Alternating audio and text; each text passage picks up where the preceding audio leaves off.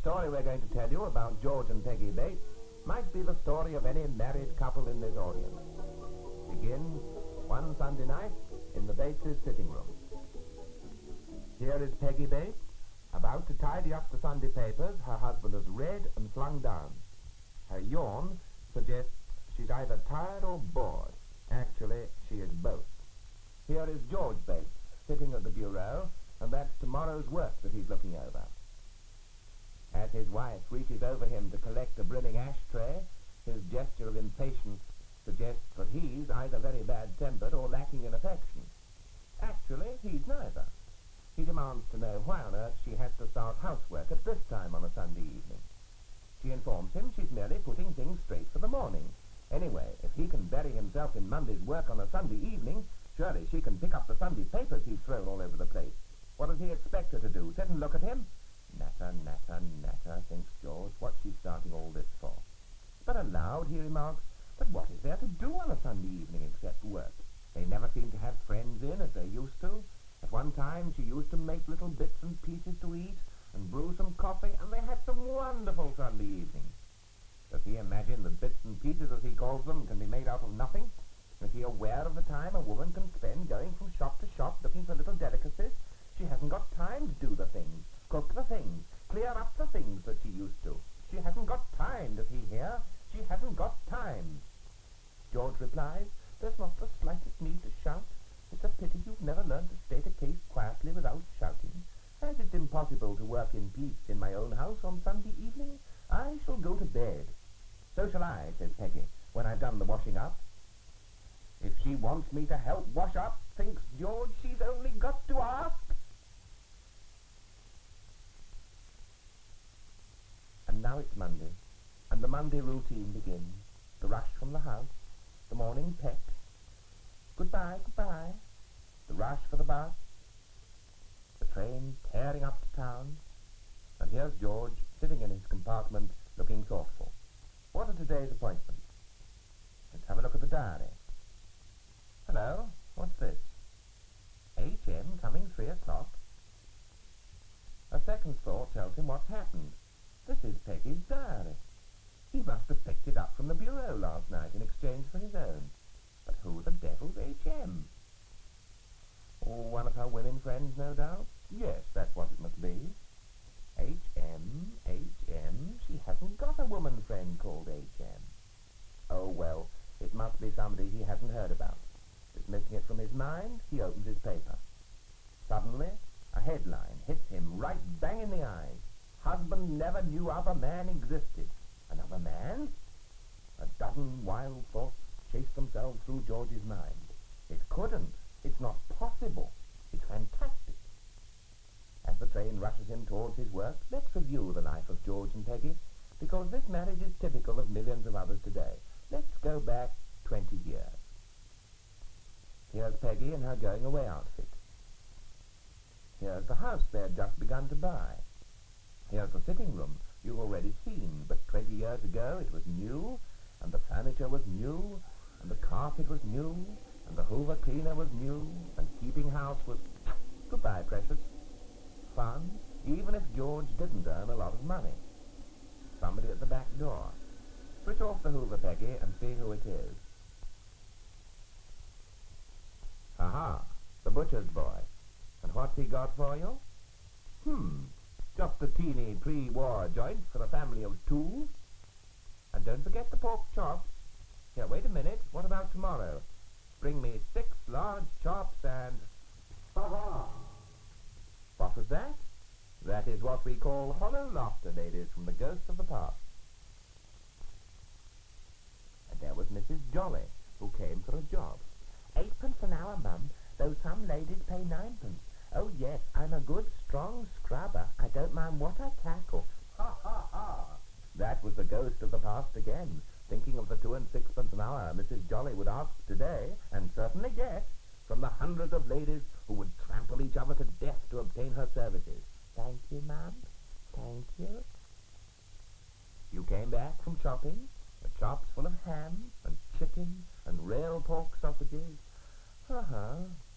If you forgot some small item, madam, You simply picked up the telephone, got through to the grocer, who listened respectfully to your request and said, But of course, madam, I'll send it round straight away. Here, Tom, hop on your bike with this packet of salt. Ha, ha, ha. Peggy had a lot to do, but she liked doing it. The Hoover was constantly in her hand, and it helped make time for a game of tennis, or a cup of tea with her mother. Even joined a keep fit class in the first two years they were married. And even when a pram appeared outside the front door, and there was more washing and more sewing to do, there was still some pleasure left in those pre-war years as the Hoover went humming merrily on. And through the war years, when George was in the Air Force, the Hoover did a bigger job than ever. It swept the carpet the day the ceiling cracked after a near miss.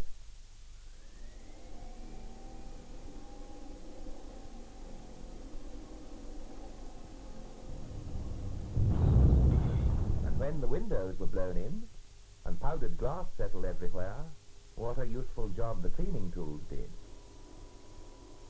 But at last there was a more cheerful mess to clear up. Paper hats after George's D-mob party, for instance. There were two now to send off to school in the morning. My word, chum, you're back on the job pretty quickly, and hasn't that rat coat dyed well? The war was over, and Peggy looked forward to having more time to spend with her children. George had got his old job back again at more money. Life would slip back into its old enjoyable routine. But somehow, the next five years slipped away, and the last five years of Peggy's thirties slipped with them. One morning when she was dusting the mantelpiece, she caught sight of herself in the mirror. I've worn pretty well on the whole, she thought, and so is the carpet, and so is the hoover. But although George is earning much more, it doesn't go as far, and I'm working harder than ever. We don't entertain so much. We quarrel more. In fact, I'm a darn sight worse off than when I was first married. And that brings us back to where we started. Here's George just coming back from lunch. He's been puzzling his brains all the morning about the mysterious HM. Two o'clock, and at three... George decides he can't stand it any longer. He picks up the phone. Get me Mr. Dean. Oh, Mr. Dean, this is Bates here. I'm not feeling well. A touch of flu, perhaps. I think I'll turn it in this afternoon to go home. You don't mind, do you? Thanks, yes. Oh, I shall be better tomorrow. There's just time to catch the 220.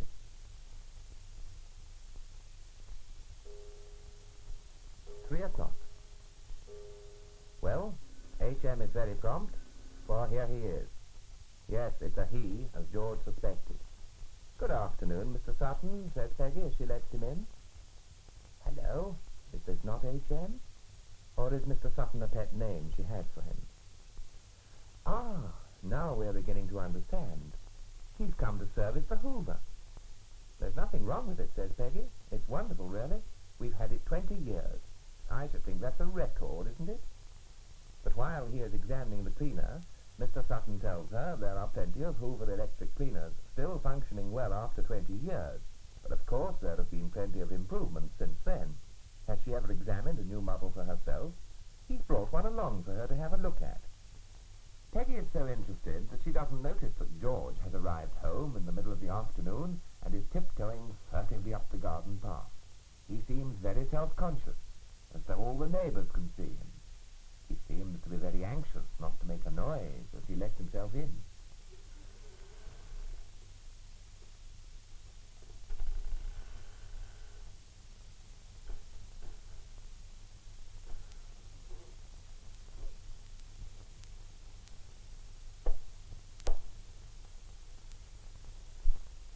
For shame on you, George. Do you really imagine you're going to catch your wife out? Uh, catch her in? Hello? A man's voice in the sitting room? What's Peggy saying? Of course. We've been married for 20 years, and 20 years is a long time. Nothing lasts forever, of course, but even after the newness of it all wore off, we've been such good friends. I hate to make a break. Oh, dear, thinks George. Of course, goes on Peggy. He still picks up little bits of fluff. Never missed a bit of fluff in 20 years. Oh! All the same, says Peggy, I do agree it's about time I made a change. Naturally, I'll have to discuss it with my husband, so I should darn well think, mutters George. But the next moment she says something about putting the kettle on for a cup of tea and, good gracious, you gave me a start. What on earth are you doing home? Who's that in there, demands George.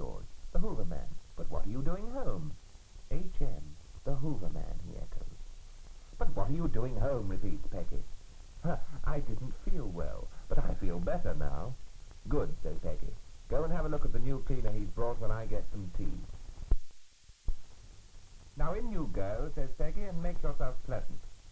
Rather shaken, George says, How do you do? My name is Bates. Pleased to meet you. Do sit down. Thanks, but I have to work on the machine. Oh, have a cigarette? No thanks, you see I don't smoke. Well, uh, do sit down. But I haven't quite finished. A light? No? Mind if I do? Have a chair. Later on, Mr. Sutton had finished his routine inspection, and George heard the story of the new Hoover. Peggy said, I want my husband to understand exactly how a Hoover works. I don't often have him at my mercy at this hour of the afternoon, do I, darling? And this is what Mr. Sutton told them. 90% of the dirt in every house settles in the carpet, and it's of three kinds. Stubborn clinging litter, such as bits of fluff or dog hairs, such as this kapok, which can't be removed without sweeping. Light dirt, such as this soda, easily removed by any vacuum cleaner. And embedded grit, brought in from the street on the soles of shoes, such as this sand. Have you ever seen grit magnified? Look at this, and you'll see how sharp it is. It settles at the base of the carpet, and as successive feet press the tufts of the carpet against the razor-like edges of the grit, it literally cuts the carpet to pieces. This can only be removed by beating it out of the carpet. A cleaner working on the suction principle doesn't remove all kinds of dirt. I can easily show you that. Look, I've disconnected the belt, and it now acts merely as an ordinary vacuum cleaner. Try to pull this piece of paper away. You see how strong the suction is. Now let's see what happens to the dirt. It finds kapok tough going. It takes up soda quite easily. Let's see what it does to the sand. We'll give it a thorough going over. Let the suction have a good opportunity of taking it out of the pile. But you'll find it's still there. Look, I'll tap it with this screwdriver. You see the sand being bounced out of the pile onto the surface of the carpet? Now let's represent the construction of the carpet by using a piece of paper as the backing and this loosely woven material as the pile. The dirt becomes embedded and eventually disappears into the base of the pile. To see what happens, let's reverse the procedure of cleaning. Instead of moving the cleaner over the carpet, we'll move the carpet over the cleaner. You see that suction alone won't remove this dirt. When tapped with a screwdriver, however, the dirt begins to disappear, showing that some form of beating is necessary. Now I'll reconnect the belt, and in doing so, I bring an entirely new principle into action, or rather two principles. First, notice the brushes and small bars. As the cylinder on which they're mounted, it's called an agitator, revolves, the brushes sweep up the grit that the bars tap-tap at the carpet to remove. I use this screwdriver to represent the surface of the carpet, and you'll see the hairs of the brush press against it. And as the bars come round, they give it a succession of light taps. We'll put down some more of the three kinds of dirt. The kapok, representing loose fluff, dog hairs, and so on. Soda, which represents light surface dust. And sand, which represents grit. We'll brush it well in, as if it had been trodden in by successive layers of feet going over it. Now then, we put the hoover over it. But this time the brushes are at work, and the kapok is taken up quite easily. Away goes the light dust, as it did before. And now for the sand. If you look very carefully, you'll see that as the suction raises the carpet and the beater bars begin tapping, the sand is actually visible. Look, bouncing about just in front of the cleaner.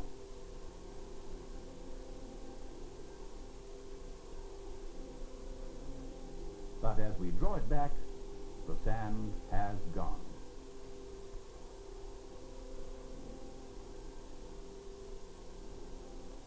Look, I'll tap it with the screwdriver again, and you'll see it really has gone. Now let's do the upside down test again, but this time using all the principles of the Hoover. The dirt is removed instantly, showing the dirt and the Hoover can't stay in the same house. Just one more thing. I want you to notice how the Hoover raises the carpet onto a cushion of air to do the beating. It's a very soft, and gentle action.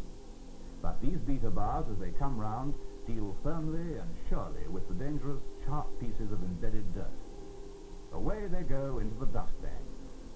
Mr. Sutton finished by saying, it's so easy a child can use it. A child can use it, echoed Peggy. Well, you have a go then, George. Wait a minute, let me put some dirt down for you. There you are, darling, it's all yours. Jolly good, said George.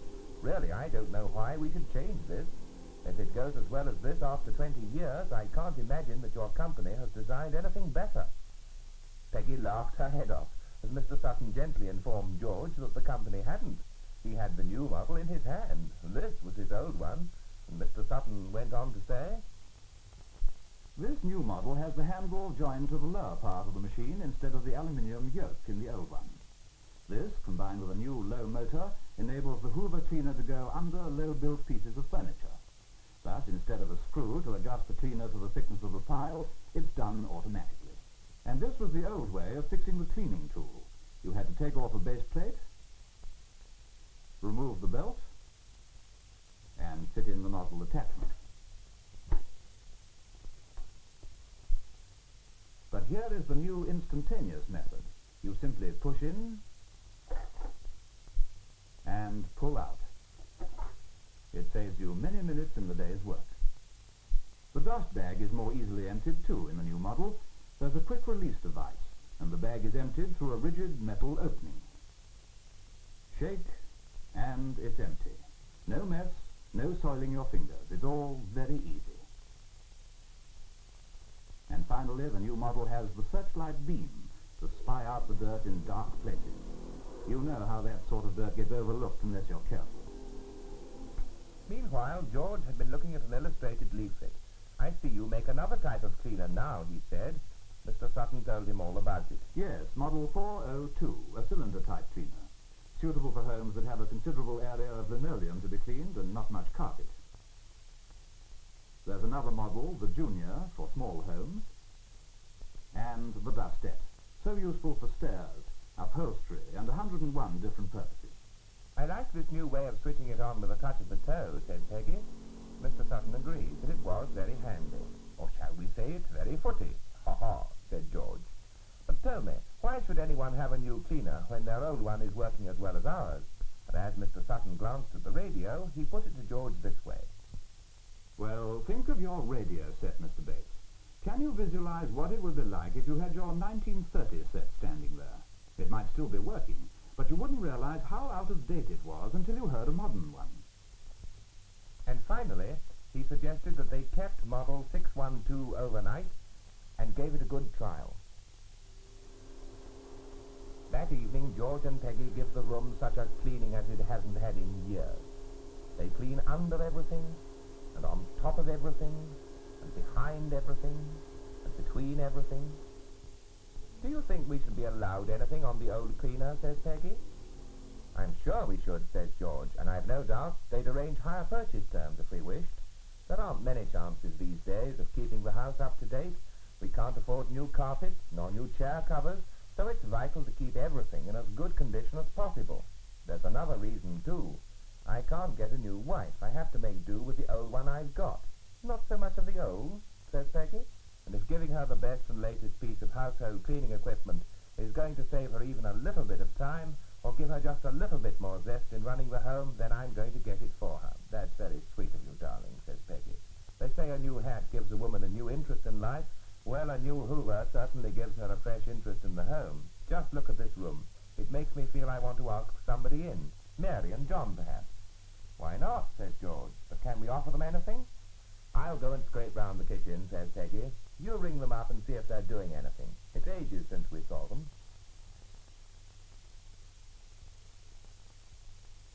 As George goes to the phone, he shouts, I took your diary by mistake today.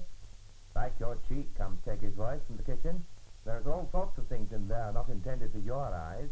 Good heavens, You don't think I read it, do you? gasped George. And I, said Peggy, had your diary. Who is H.C.? H.C., says George. Yes, says Peggy. Come clean. Who is H.C.? H.C., he informs her, is haircut. So that was all right. They got their HCs and HMs sorted out, minded their P's and Q's in future, and everything was okay. And there we leave George and Peggy. But ladies and gentlemen, for you are concerned in this too, this film is about time. Time saved by Hoover. Time for women to devote to leisure, to their children, to their husbands. It's about time. And whether you already have a Hoover that has given you years of service, or whether you ought to get one, when you catch sight of the name Hoover, remember, it's about time.